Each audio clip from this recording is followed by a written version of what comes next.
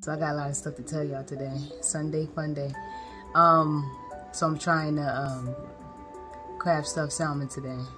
You'll see it in the next, well, the next part coming up.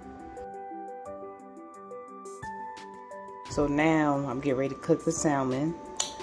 Um, I just put some olive oil in my cast iron skillet because that's what the, the recipe said.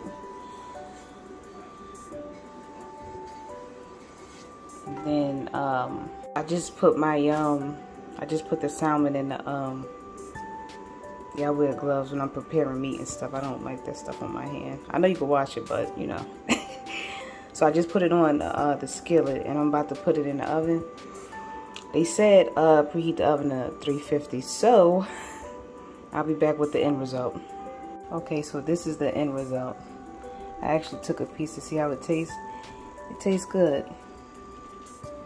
Well, I'm not going to eat both of these, but this is the crab stuffed salmon from ShopRite. But I understand that um, Costco sell it too. So this was a good choice. It didn't take too long to cook.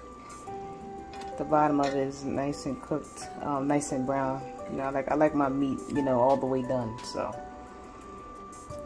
so that was that's the YouTube video. Thanks for watching, guys.